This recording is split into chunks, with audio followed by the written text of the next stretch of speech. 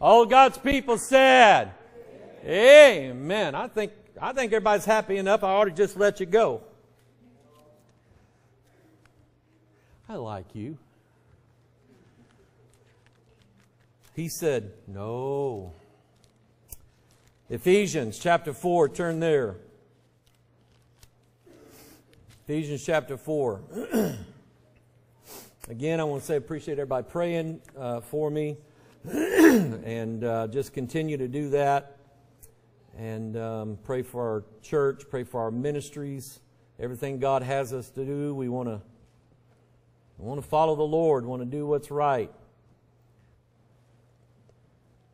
This sort of goes along with uh, part of what I've been preaching, and um, has to do with the truth versus lies.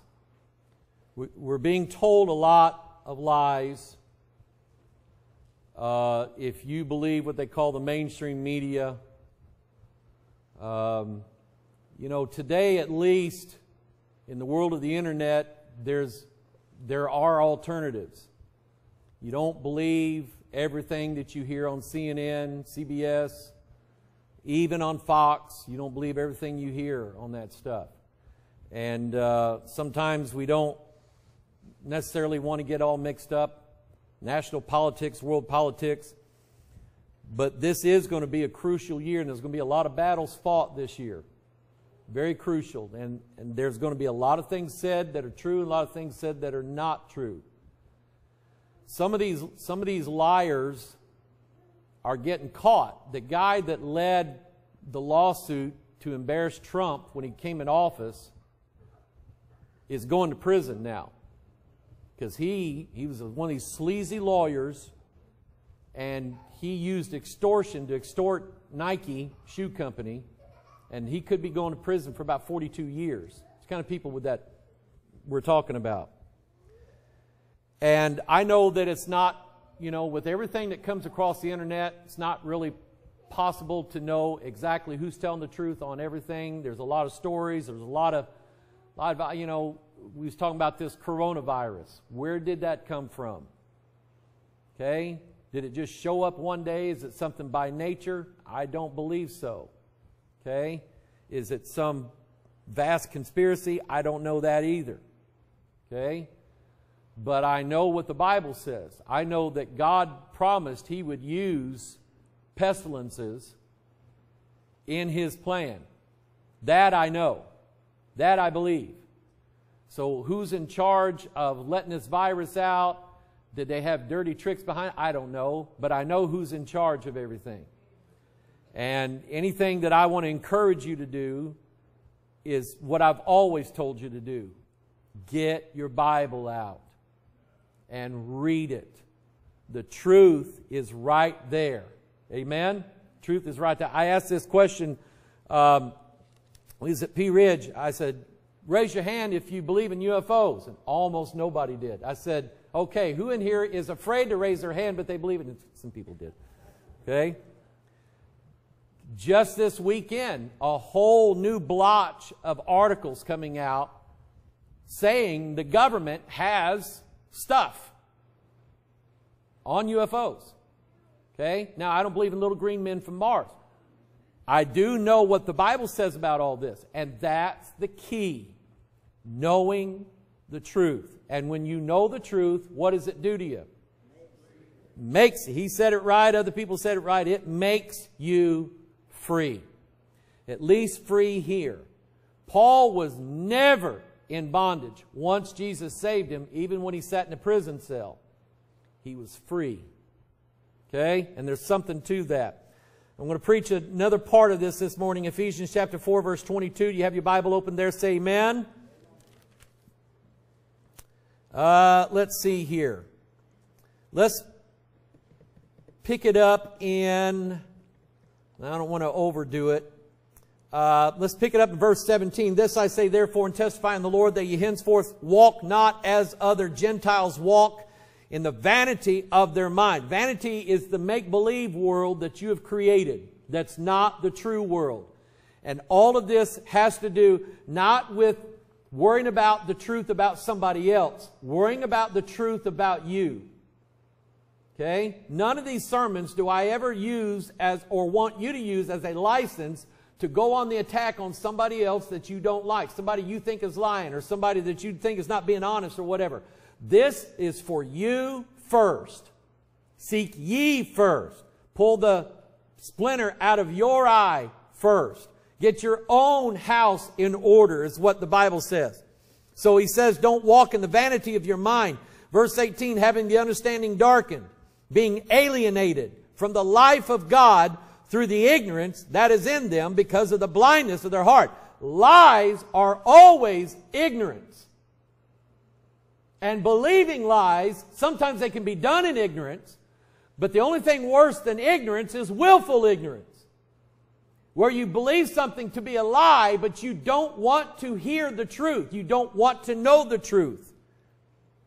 So, verse 19, who being past feeling have given themselves over unto lasciviousness to work all uncleanness with greediness.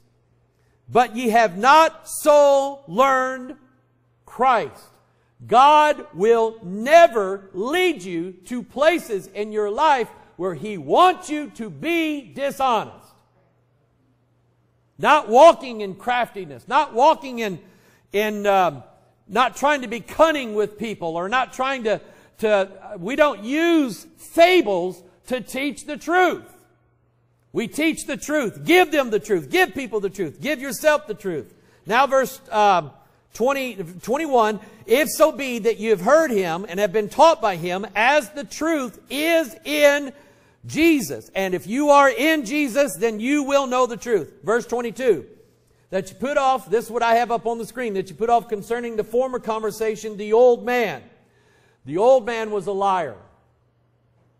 Let the liar die. You put off the former conversation, the old man, which is corrupt according to, and this is what I have underlined, deceitful lusts.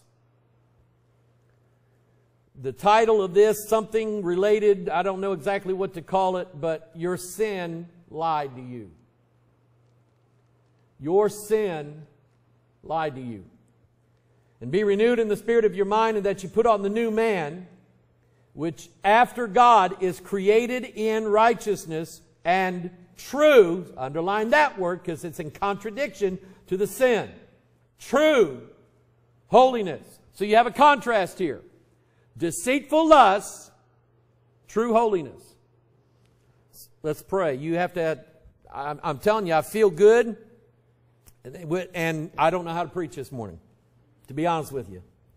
Because I think that I'm relying too much on me and not on the Lord. So pray for me this morning. Father, I need your help. I mean it. I had nothing to say, nothing to give these people. And Father, if truth be told, I guess I'd rather be sick preaching than to feel good. Because I care about these people. I care about their lives. I care about their families. I care about the things going on in their life, Lord, and I know just how rotten the devil is. I know it. And I know, Father, what is in every one of us, starting with me. Starting with me. I know what's in all of us, and it's not good. I've lied before. I've lied to protect me. I've lied to protect others. And I'm not happy about that. I'm not okay with that. God have mercy on us. And Lord, you, did not tell us that we had to go ringing a bell telling everybody in the world everything we've ever done wrong. But you did say you desire truth on the inward parts. At least, God, to be honest, with ourselves, be honest with you, and then to live honestly in the sight of all men. Because we are supposed to be the epistle of God known of men. And Father, I want my life to be that way. I want my family to be that way. I want this church to be that way. To where we don't have anything to hide. So, Father, teach us the truth. Teach us to walk in truth and to live truthfully, at least with you and with ourselves. Remind us the lies that sin told us. Remind us of that. And just help me preach. don't have to preach long, God. Just help me do it. I pray in Jesus' name. All of God's people said. Now turn to Hebrews 3. Could be one of those messages I just read scripture and go sit down. Let God work it in you. I want you to think about what I mean, or what actually what the Bible means by this. There in Ephesians 4, he called them deceitful lusts. Here in, in Hebrews 3, he's going to say the deceitfulness of sin. Now, I want you to pay attention to that. Verse 7 of Hebrews 3, let's back up a little bit, get the context.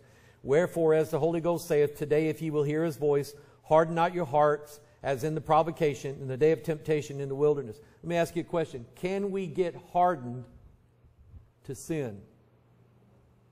And what I mean by that is, we just do it so much that we just don't think about it and it doesn't bother us anymore. I mean, when I spent three years in Bible college, I wasn't supposed to do this, but I snuck off to watch a movie one time. We wasn't allowed to go see movies when I was in Bible college. And of all the ones I picked, Platoon.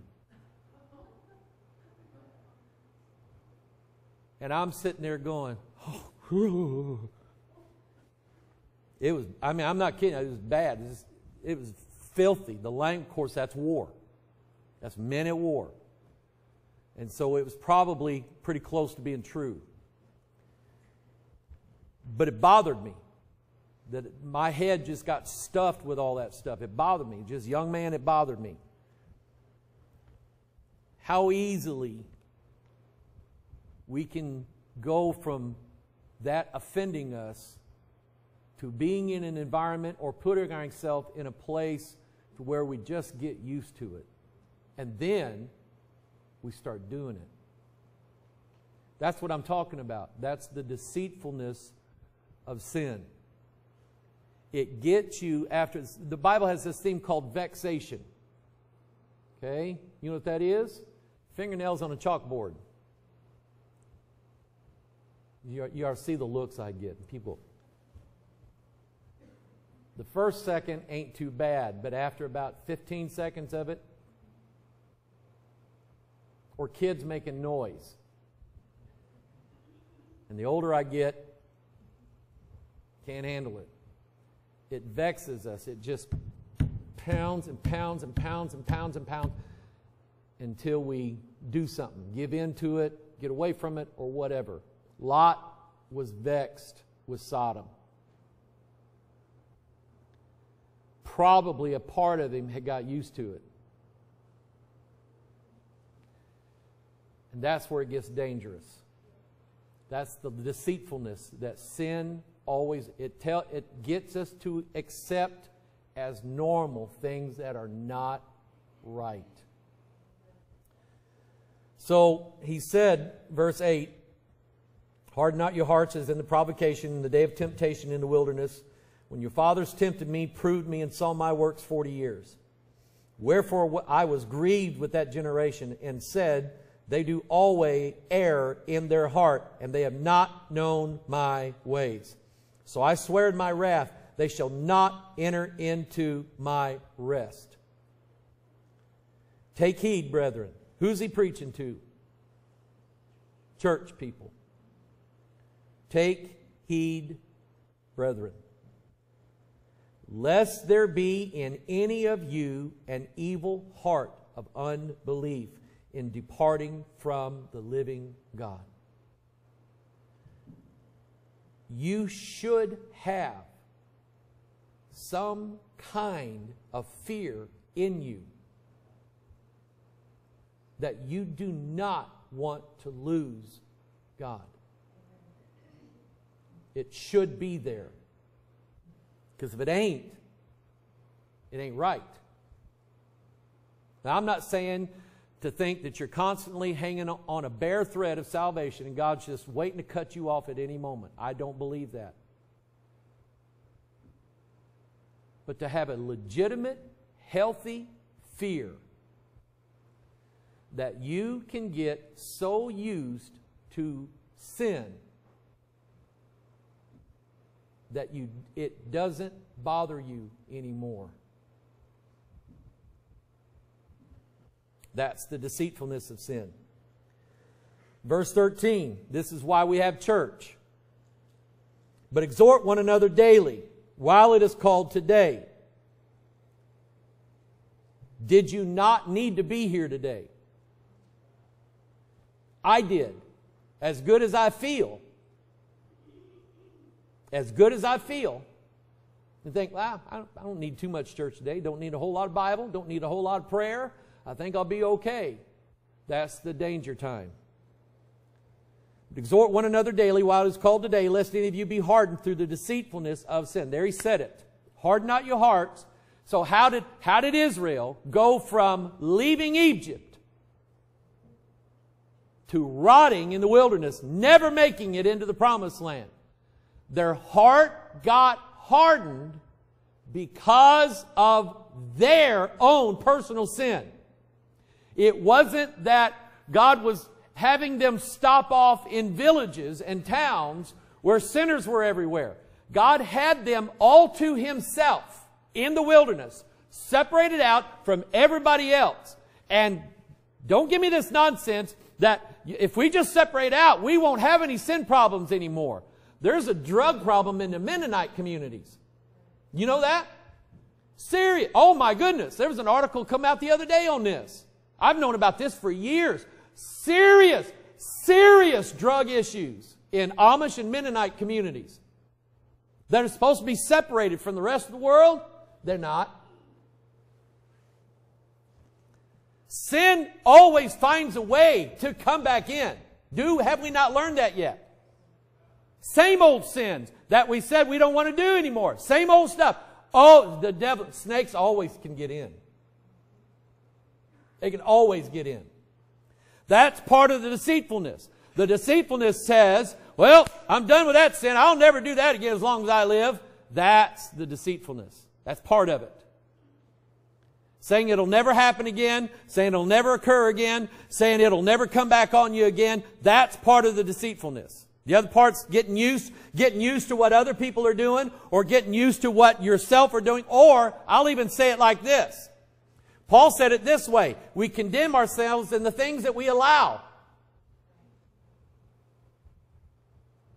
You say this is, oh, I don't believe in that, this is wrong, and yet you allow it to go on in your presence, or you allow it to go on in your home, you allow it to go on in your family. That is just as wrong as doing it. That's part of the lie that sin tells. And it'll lie to you every time. Who's the father of lies? The devil. What did he introduce into the world? Sin. He convinced Eve that it was, listen to this, he convinced Eve that it was okay to disobey God. And it'll be alright. And so this is the result of it. Her firstborn son slew her secondborn son. Verse 14, for we are made partakers of Christ if, underline that word if, in that verse, underline that word if, we hold the beginning of our confidence steadfast how long? You can leave Egypt, not make it home. Today, if you will hear his voice, Harden not your hearts as in the provocation. Uh, turn to uh, Mark chapter 4. I don't have this in my notes here, but turn to Mark chapter 4. Here's another, another way of saying it. Another, here's another way of illustrating it.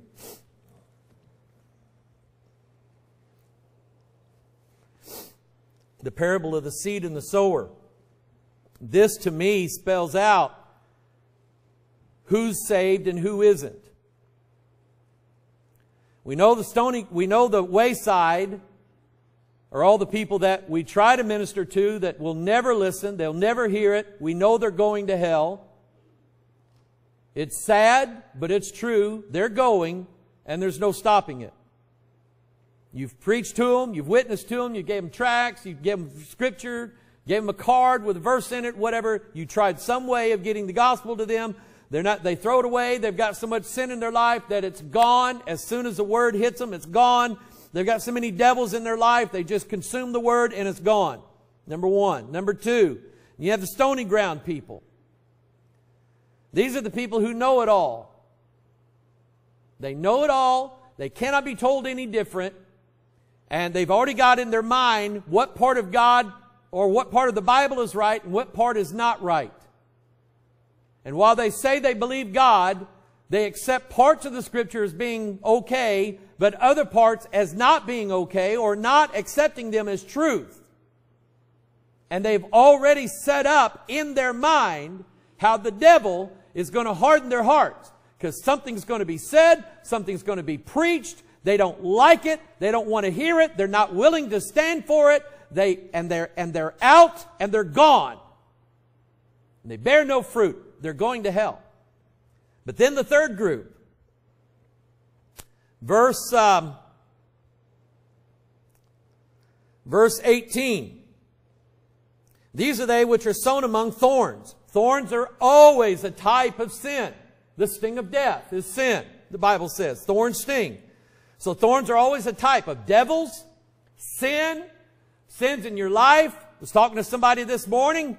And they said, you know what? Realize one day I got a thorn in my flesh. If you're going to be honest, so do you.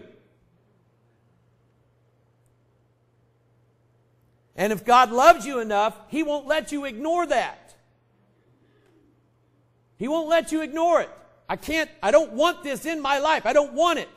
I, there's something I want more than I want anything else in this world, and that is to not go to hell. So, the thorns, verse 18, such as hear the word, and he lists three things the cares of this world. It means you got worldly attitude, worldly mindset, worldly mind, everything about you. You are more concerned with enjoying this world than you are living for God. God is second or third or any other place other than first in your life. And this world and what pleases you and what satisfies you and what brings you joy or happiness, whatever it is, that comes first in your life. That is a setup and it's a thorn. And then he said the deceitfulness of riches. You know, that, could be money, that could be riches in how things are going in life, or the you could be rich in sin. But it's a lie, it's a deceit, and the lust of other things. He, he links all of these things together. Your lust, that I, I was with a man when I was in Bible college out in Oklahoma. This man had a wife. He had, had two daughters, young, young family. Here I'm this Bible college student and we're planning things for the, I don't know, we're doing some kind of Sunday school get together for the church. And they sent me and him out to go get soda and chips. So I'm riding in the man's car and and he, I liked him, and because we had computers in, as a common interest. And this teenage girl walked down the street. He'd pass her by. He'd be staring at her. After a while, he caught on that I was, you know, I'm watching him. He's going, I believe it's okay to window shop as long as I buy it home. I'm 19 years old full of hormones, and I knew that was wrong. That's the lie. That's the lie. It'll tell you that you can play in the area of sin, but it won't affect you. That you can, you can have relationships with people that are living in sin and it won't affect you. This is why we were always told, Lisa and I were always told when we were growing up here in church, when you pick somebody to go out with, make sure that they believe what you believe. Because the Bible said, be not unequally yoked together with unbelievers. This is what we were taught. And it's not wrong.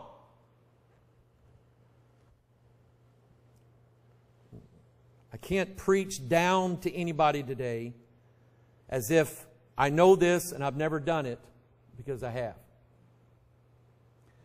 What I'm doing is I'm telling you, I know that sin lies because I believed it.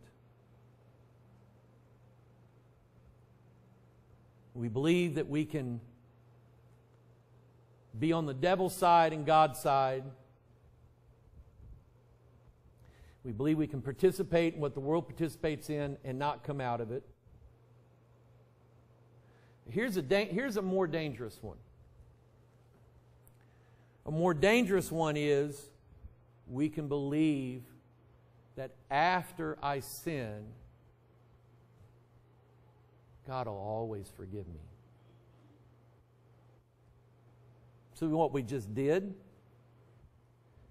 wrote ourselves a permission slip and signed God's name to it. And said, You can do this. That's the deceitfulness I'm talking about. And then after a while, here's what happens. All of a sudden now, you don't believe what you used to believe. Do you think that there are preachers in this world who no longer preach against certain sins because they don't believe they're wrong anymore?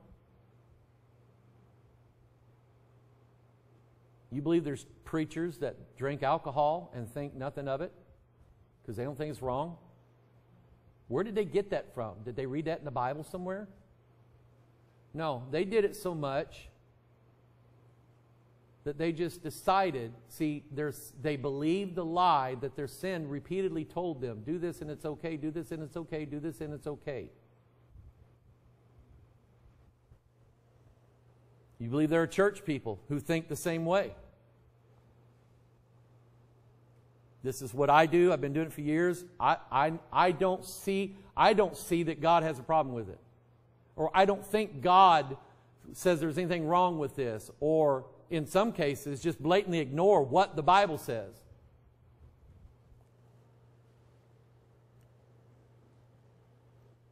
Like going to go get a tattoo. Can I go get a tattoo? Why not? God said don't to. So if I do it, knowing that God said don't do it, is that That's the lie. That's the lie. And let me say this. When we believe the lie that our sin is not a sin, you won't repent because you didn't do it wrong. Now, where are you? Now you're not asking for forgiveness because you believe the lie that you didn't do anything wrong. These are dangerous places to be. I've been there. And so has a bunch of other people sitting here and online. We've told ourselves we believe the lies that we can do this, it's okay, or we can do this and I'll ask forgiveness later. I'd rather ask forgiveness than permission. I've heard people say that. Turn Isaiah 28 and I'm going to let you go. Well, Turn Isaiah 8. Let me preach it a while. Then I'll let you go. And say it right.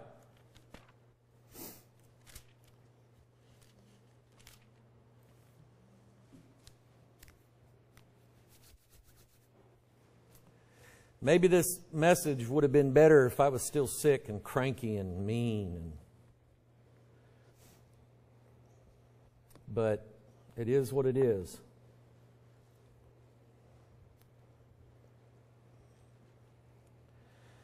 Look, some of you sitting here, you're sitting in a room full of people that have been down this road before, where they believed the lies that their sin told them. They've been down this road. They would come up here and say to you, listen to what, listen to what God's trying to say here. Because I fell for it and I, I lost everything or almost lost everything or I will never do that or whatever. They would stand here. We could drag people up from hell and bring them here and they would tell you, listen to what God said. And it doesn't matter what sin it is. That, it does not matter what sin it is. They're all going to tell you the same lie. And then we use those lies to cover it up. Isaiah 28 14. Hear the word of the Lord now. Wherefore, hear the word of the Lord, ye scornful men that rule this people which is in Jerusalem. Because you have said, We have made a covenant with death, and with hell are we at agreement. Man, there's so many ways to preach that.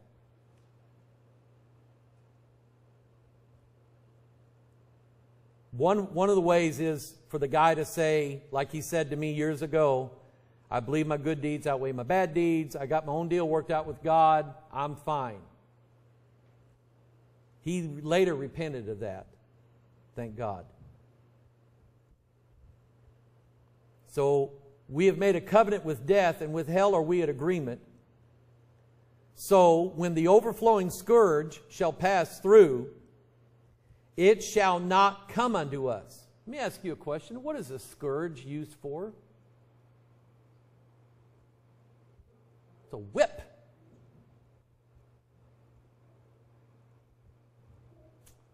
So when we see God coming to chastise us, we will say, I didn't do anything wrong. And then when you do that, you're a bastard. And you're not going to heaven. When you won't let God whip you and whatever reason you put behind it. But one of the reasons is because you think you didn't do anything wrong or you were justified in what you were doing, or whatever. You just, you told God, don't touch me with that scourge. I didn't do anything wrong. Melissa, can you imagine turning around to our mom and saying, You're not whipping me today, mom? Did you really?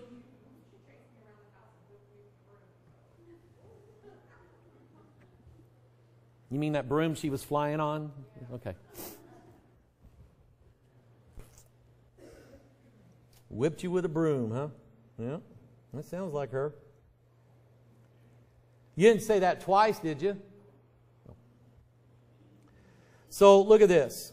When the overflowing scourge shall pass through, it shall not come unto us, for we have made lies our refuge, and under falsehood have we hid ourselves. And I have regrets to this day. I have, I have regrets to this day about lies I told when I was 16 years old. And why did I lie? I lied so that I wouldn't get in trouble. I, I'll just, I'll give you, a, I won't give you the bad stuff on me. I'll just give you the little stuff on me. I was with a group of kids in this school band with the Honor Society. We were putting on a dinner for the PTA. And we found out the room that they kept all the school concessions in was unlocked, Phil. So somebody found it out. They were in there pulling candy bars out. And then one after another, we all ended up going in the room, putting candy bars and chips and stuff in our pockets. One guy filled his trumpet case full of candy bars. Well, we didn't know that the Honor Society did it too. The Honor Society did it too. So, the next day in band class, Mr. Rowland, our band director, is going, I got something serious. There was a bunch of stuff stolen, a lot of stuff stolen. I took two candy bars, ate one, and then on the way home, I threw the other one out the window because I felt guilty. That's all I did. We're talking, back then, we're talking 50 cents worth of candy. And when that band director looked us in the eye and he said, it was either the Honor Society or my band, and he said, I told the principal our band would not do something like that. And I just flushed. I spent a year wanting to go tell what I did. And to this day, I regret it. You know what Reg Kelly said to me? You ought to go back over there with a box of candy bars and pay them back. Reg, I don't want to hear that. Now, that's something that doesn't amount to a hill of beans, but it's wrong. And I believed the lie that I could do it and it was okay.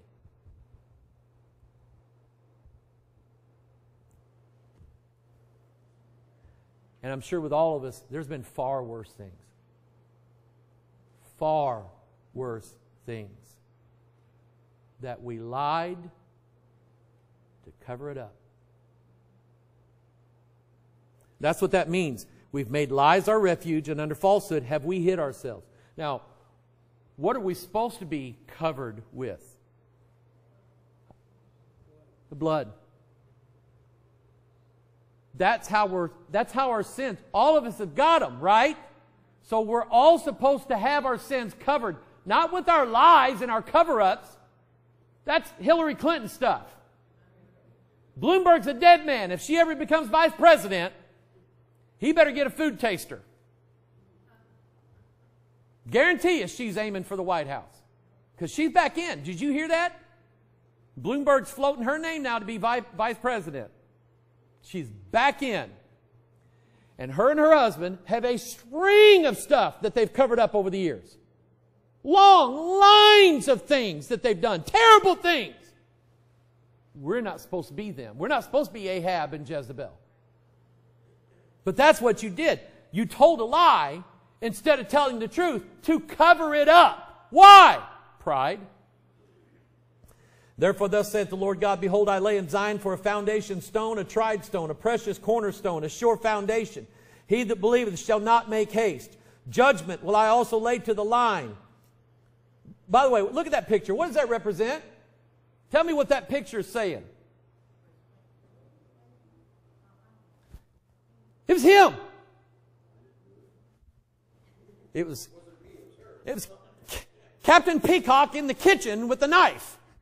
Okay? I, I said this last Sunday, I'm not going to repeat it much, but we point fingers at everybody else. And usually the person doing that the loudest, they're the ones should have the scarlet letter on their chest. What does that represent? Gravity doesn't tell lies.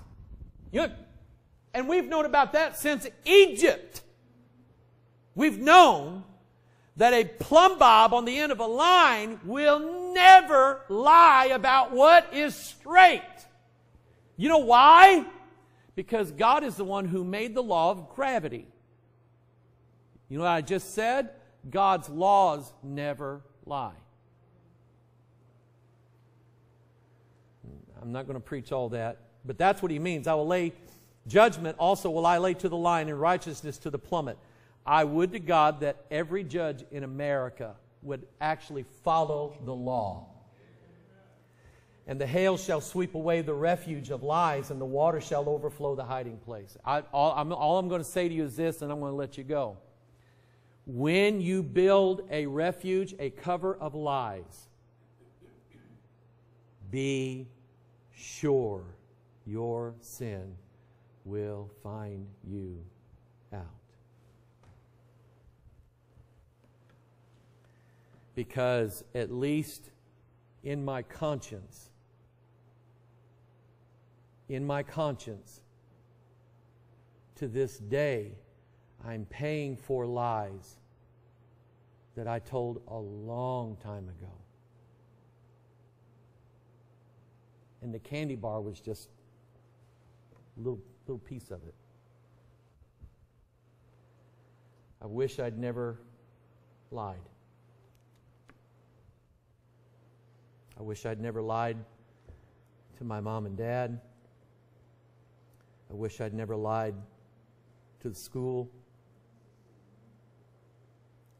I wish I'd never lied to my wife. I wish I'd never lied to my children. I wish I'd never lied to my friends. I wish I'd never lied to God.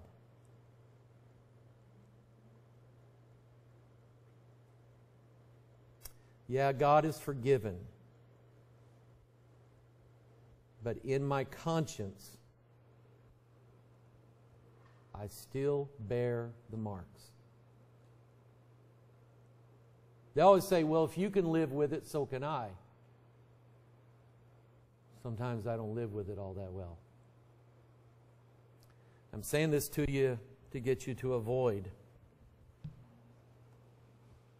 the pain covering up sin with lies. Because it hurts, and it hurts for a long, long time. Let's bow our heads.